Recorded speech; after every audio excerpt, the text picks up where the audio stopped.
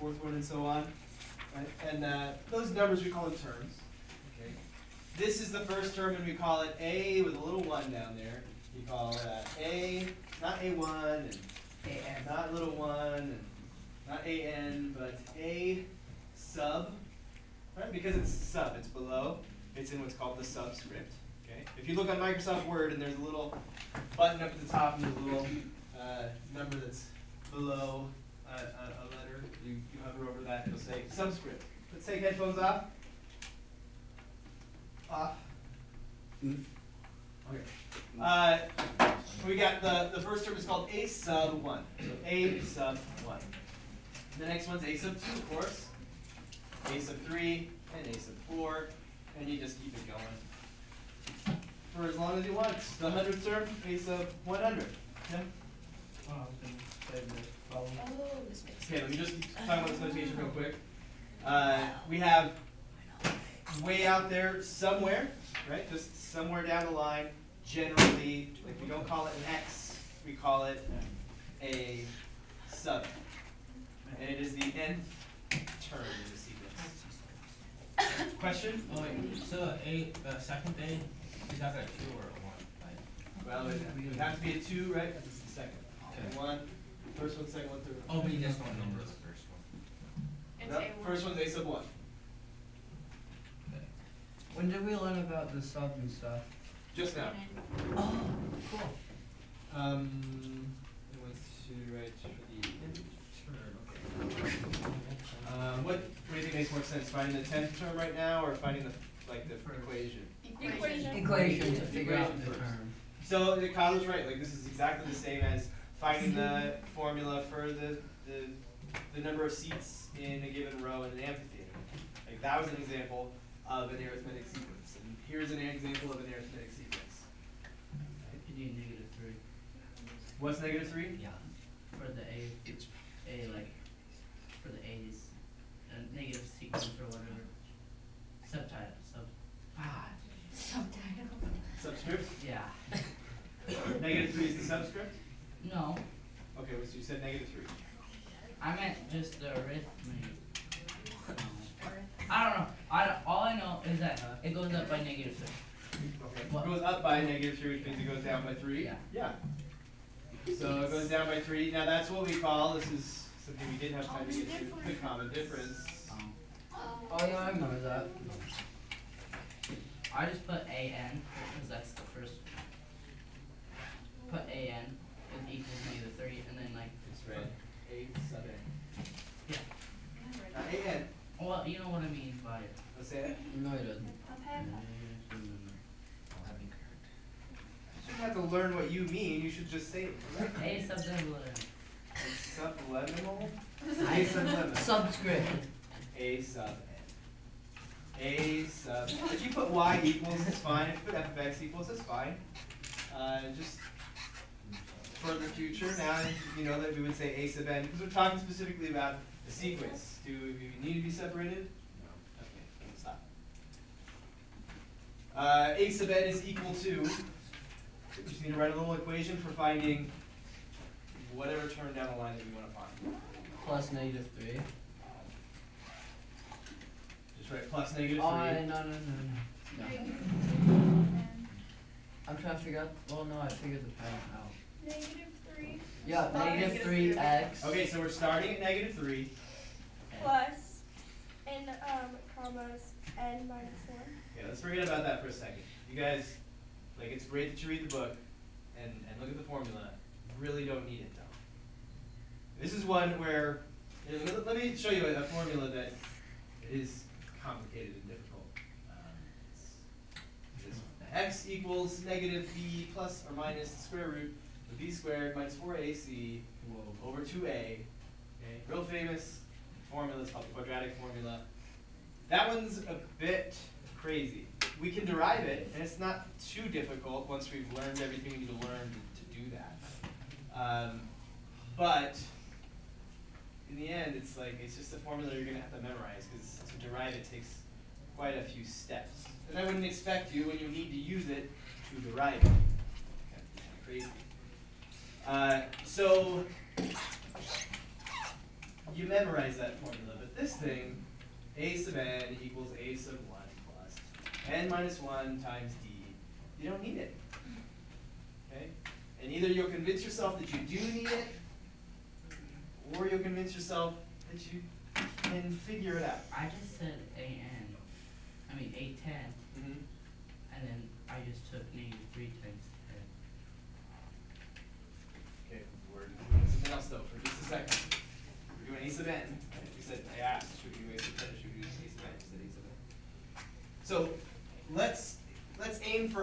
understanding this and actually like inventing it for ourselves. Okay? So let's, rather than saying like, "Oh, I know, and I, I just, I know what the formula is, let's understand the formula. It's such an understandable formula. Okay? So we're starting at negative 3, and from there, how do we get to the next term? You go down 3. You go down 3, subtract 3. And it's just a coincidence that we start with negative 3 and we go down by negative 3. We could start at 5 and go down 3 from there. Okay? So if I subtract this 3 right here, just this single 3, where's that going to take it? From the first term to which one? Second. second. Notice we just subtracted 1, 3, and we got to the second term. 1, 3 is subtracted. We're at a sub 2. 1, 3, a sub 2. 1, 3, a sub 2. Okay, let's subtract another 3. A sub three. two threes gets us to where? A sub two. A sub three. What? Here's the first term, A sub three. I need that. Subtract three, that gets us there. Mm-hmm. Subtract another three, that gets us there. That's the third term. Okay. Let's subtract another three. Where is that? A sub four. A sub four. We subtract three threes. Subtract three threes. And we're at A sub four. Four. Right? We always have to, like, we just need one fewer three number of the term we're going to. Uh, well, let's just briefly say, this gets me a sub four, right? A sub four. Starting with negative three and subtracting three and subtracting three and subtracting three. Negative three minus, what's the faster way to do that? Instead of subtracting three three times. What? Um, three, Nine. Cube. um,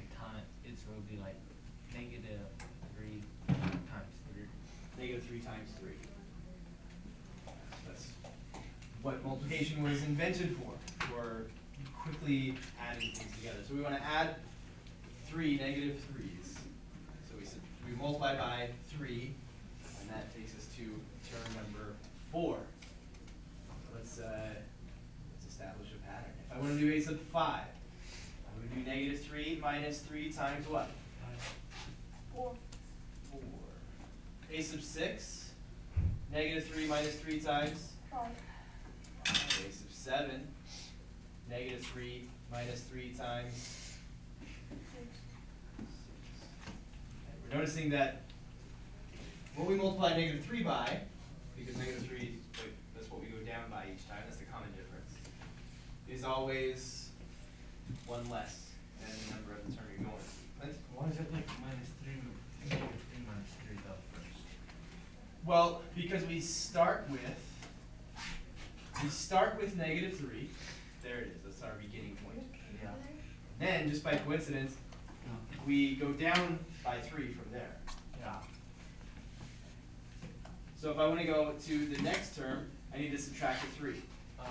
Subtract one three from the first term, and I get to the second term. Oh, I see, so it's just the first term. Yeah. Uh, minus the, what is the number called? The sub- common difference. Common difference, and then you times Yeah, because you're gonna do the common difference so many times. like, Okay. And it depends on which term you're going to. If you're going to the fourth term, you'll go the common difference one, two, three times. If you're going to the seventh term, you'll go six times. Molly?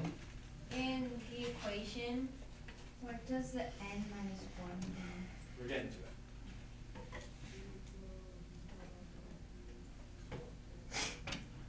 So that- we're, hopefully we're noticing this pattern. I wanna go to a sub seven, I'm gonna start with a, the first term, negative three, and subtract three six times. Minus three times six. One more time, go to a sub eight. Start with the negative three, that's the first term, minus three times what? Seven. Seven. So the, the number that we multiply the negative three by, the common difference, is always one less than the number of the term that we wanna get to. So, Oh, now I understand. and so, Just like what we were doing with the rows of how much steps you had to go up, if you wanted to go to row twenty-four, you took twenty-three steps. exactly, And that's so it, number one is still true, true, is still what? true. Is still true, oh, because the minus is one and then you don't subtract anything, yeah. Yeah, you like zero if there. you have like, Yeah. if it was, um, only one Mhm. and you, uh, I confused myself. If it is only one, then you would put a zero, Yeah, because it's one less, and negative three plus zero would be negative three, and that would be the first term. okay.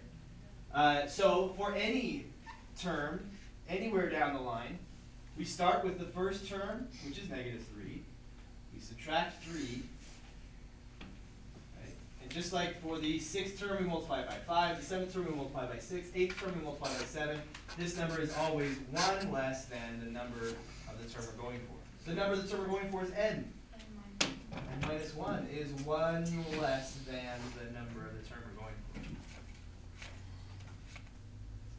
Uh, that's a great formula. We can also, like, distribute this negative three, negative three, negative three times n, negative three n, negative three times negative one is positive three. Negative three plus three is zero.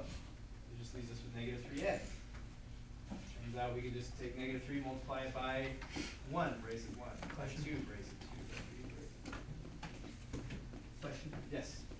How can you just can't do 3 times negative 10? Negative 3 times 10? Yeah, negative 3 times 10. Yeah. This, this you haven't gotten to 10 yet. Well, I know, but you're explaining a lot of stuff that, I mean, it's pretty simple. You do just negative 3 times 10. We're not just looking for a sub 10, we're Mm -hmm. That's equation. And That's what I did. All right, so we're going to find a sub 10 now. And using our formula, we can go negative 3 times 10, negative 30. Yeah, let's uh, make one up.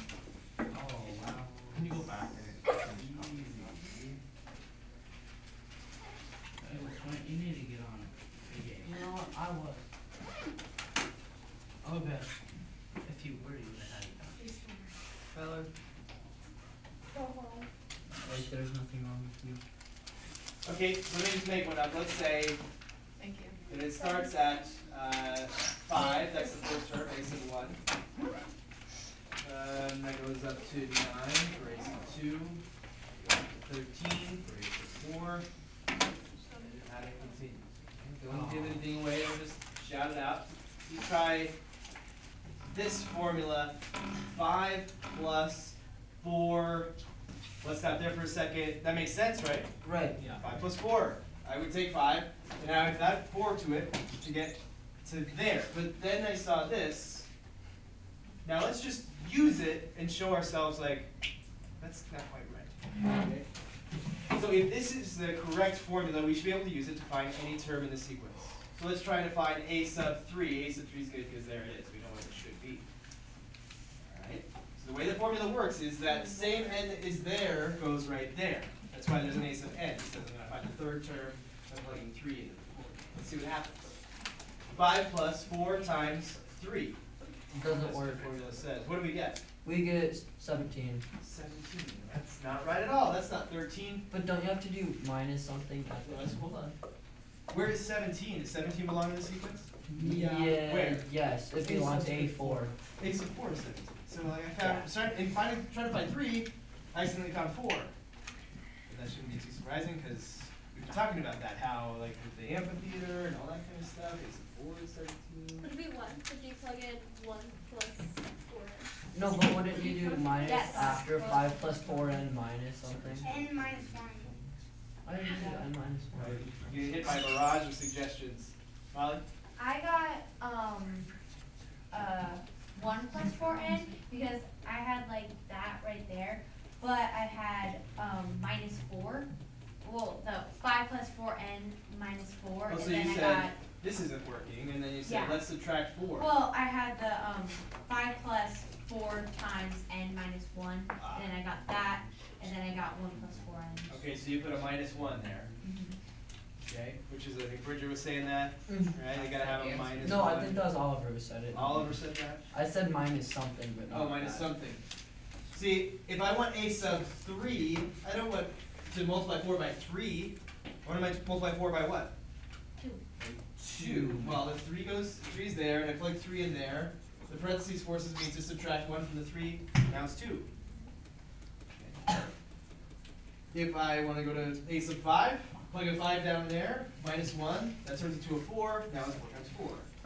It's four steps to get to, to figure number five, or row number five, or term number five. Oh, yeah. And if we multiply this out, we would get a sub n is equal to one plus four n, which makes sense too, because if we back up to this term, like row zero, term zero, a sub zero, then to get to the next term, to the first term, I add on one five, or sorry, one four. I add on four once to get to a sub one, and so the number of the term now would match this n, because we're starting with one instead of five. I thought you said. Wait, why again? Sorry, that was kind of confusing. Okay, so this formula makes sense, right? We're gonna start at five, we're gonna add on four, one less time than this n here. Uh-huh. Four times uh, three if this is a sub four. Mm-hmm. If I, if I were just to, to distribute this four, I get four plus four n minus four, and five minus four would be one, and so that's one plus four n. But I can also see that one plus four n works, makes sense, because I look at the sequence starting from back here at one. Mm-hmm. If I start Oh. at this term, the zeroth term, Yeah. then to get to the first term, I add four one time. One time to get to a sub one, right? It's not off at all. They mm-hmm. exactly match up. The number of times I have to move up four and the term that it lands me on is the same number, Yeah. right? Add four two times, and I land at this second term. Two fours, a sub two. They match up perfectly. So, that's the thing, like, I want you to think for yourselves rather than just do what somebody told you to do. If you, if you'd like to back up to a sub zero, and just write your formula from there, like, it's gonna go up by four every time, so I just have to add on n fours to get to a sub n, whatever that is. Oh, I have to add on eight fours, starting from here, that's at eight fours to get to a sub eight out there. So just, uh, eight times four plus one. Can you Four. do, Do this. Could you do like maybe nine plus four and then? Hey, look at that. So let's think about it that way. A sub n equals, let's start at nine instead of five, or starting at one. Plus four, times n minus two. Cause now we only need to take, we need to take two fewer steps than the oh. number of the term. Okay. N minus two, right? Cause if I wanted to start at nine and I wanna get up to a sub four, I'm gonna get to a sub four, but I only wanna add on one, two, four, so that's two less. So what happens if you took like nine, nine plus four, I mean four times five minus two? So it'd be like, it'd be, so you'd be finding number three for it? If you plug a five in here, Yeah. well, that's five you're plugging in for n, n is five, so n is five, so you're finding the fifth term. But I thought we weren't finding the fifth because we, we avoided. I'm just going off of what you said in that, you you said, what if we put five there? Yeah. That would mean that we're finding the fifth term because n is five. Aren't we subtracting? Let's, let's see what happens, nine plus four times, you said five minus two, Yeah, so three. nine plus four times three, nine 12, 21. Next term, a sub five, mm-hmm. twenty-one. Because we're starting at nine, look what we're doing, we're adding four times three. We're adding four, four again, four, three times, three times four. I can go up four, four, four, or I can go from nine and add twelve, right, four times three. But Okay, so like whatever term it is, if you're using uh, the the third term, you always use the number below it, like the some split, or like minus two. understand your question. What was your question exactly? Okay, so you're doing minus two because it's nine, so if it was like thirteen, it'd be minus three then? Yes. Okay. Yeah, so if I started at 13, 13 plus 4 times now n minus 3, because we're already on the third term, Yeah. we don't need to take those three steps. Right? Like they've already been taken, so we just need to take the additional however many it is. Yeah, so, yeah. This formula is not fantastic because it gets a little weird when you if you were starting at a sub 2 and you want to find a sub 1 and then this becomes negative, still works. It's not wrong. Wait, but it's so- just a But for weird. thirteen, wouldn't be subscript, subscript two? Thirteen. 13 is a sub 3. Oh, shit, then why wouldn't nine be one? Because it's a sub two, so that means that two. And 9 is a sub 2, we subtract 2. Then why do you do subtract two for thirteen? Don't know that we are. Where are you seeing that happen? Oh, wait, no, I was just asking, wouldn't it, the subscript be three for thirteen? Oh, which one? The subscript is 3 for 13. Okay.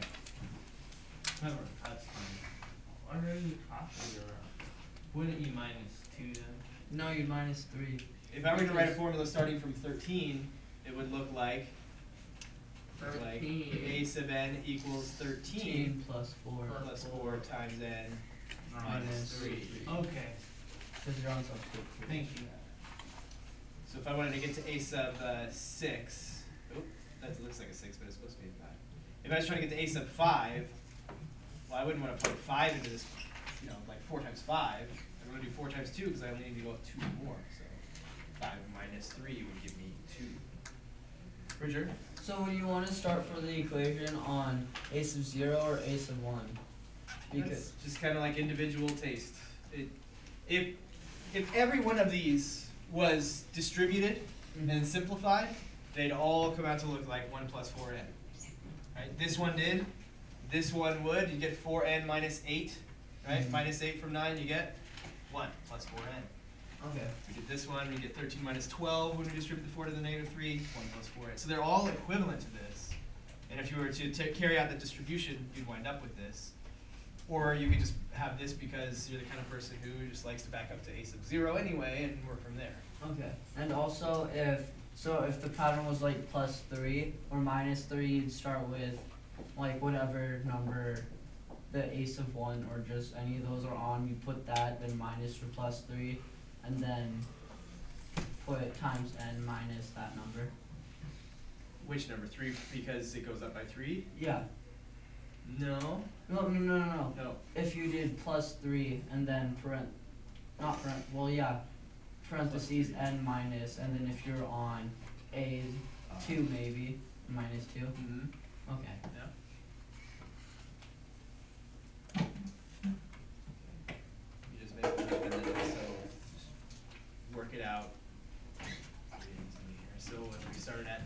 7, and then went up to uh, 13, uh, to 19, and so on. It's going up by 6, up by 6. Right. So if I were to just follow my common sense, I would start at 7, and I would just keep adding 6 until I got wherever I was trying to get to, right? A sub 1, A sub 2, whatever, ace of n.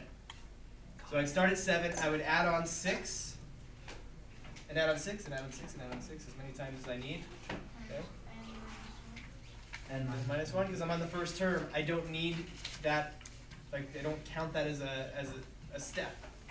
I only need to take one less step than, you know, three, I only need to add two sixes to get to a sub three, so whatever this guy is, I always subtract one from it, multiply by six and add it to seven. And if I wanted to clean this up a little bit, I could get seven plus six n minus six. a sub n equals seven minus six is one. One plus six n. So if, at least, hopefully by now, if, if you were relying on the formula, you know why this says a sub one, because we're starting at the first term. Why we put d here, because we're gonna go up this many, you know, we're gonna go up by six a bunch of different times. and n minus one because of the number of steps to get there, just like the amphitheater example, it's always one less than the row number or the term number. Clint? Oh, um, so, how do you know which subscript is the first one? Just the first one in the list? is that- Yeah, if they, if you just give, if they gave you a list of numbers and they didn't say anything, then you just assume the first one is a sub one. And then you can go like, take the, what is the number that goes up by?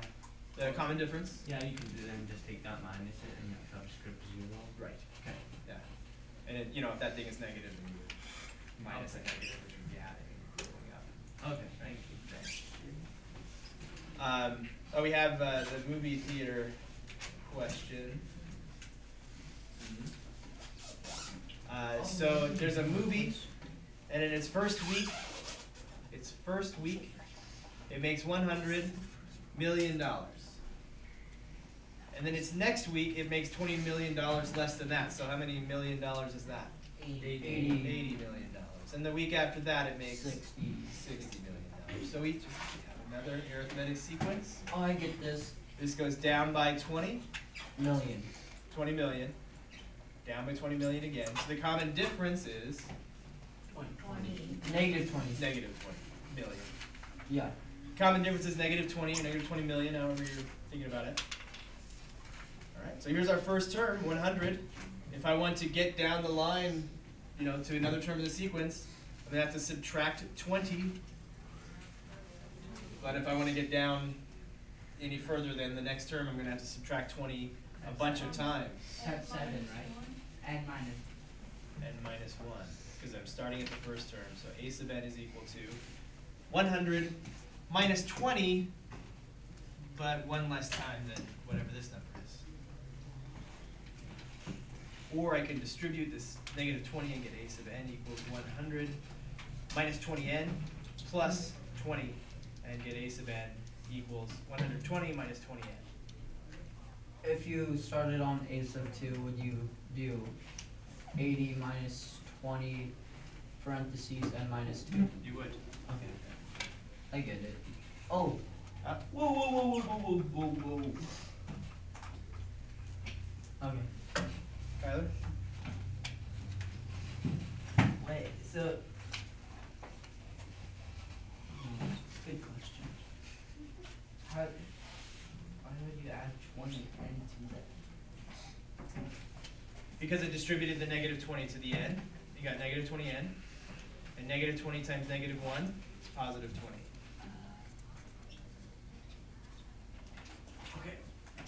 Distributed that negative twenty into the parentheses. Is this our first problem or second? This was the second, This was the, this is the like word number problem. thirty-nine. Number six thirty-nine.